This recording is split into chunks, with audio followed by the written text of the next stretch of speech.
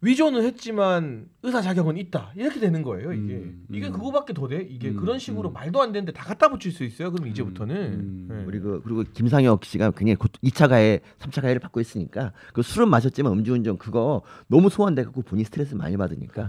이제 다른 비유를 합시다. 그러면 이거 서민 교수님 이거 학폭이 학폭. 쌍수는 했지만 자연미남이다 어, 뭐 이런 거잖아 이런 거잖아 이게 예를 들면 괜찮네. 어. 괜찮네. 그러니까 좋아. 쌍수는 했지만 인공은 아니다. 뭐 이런 거예요? 아, 자연미남이 자연미남이 자연미남이 나와요. 미남이란 말이 들어가니까. 이 버튼을 눌러서 구독을 해주시면 가장 빠르고 편리하게 TV조선 아고라 콘텐츠를 이용할 수 있습니다. 꼭 구독 부탁드려요. 앙.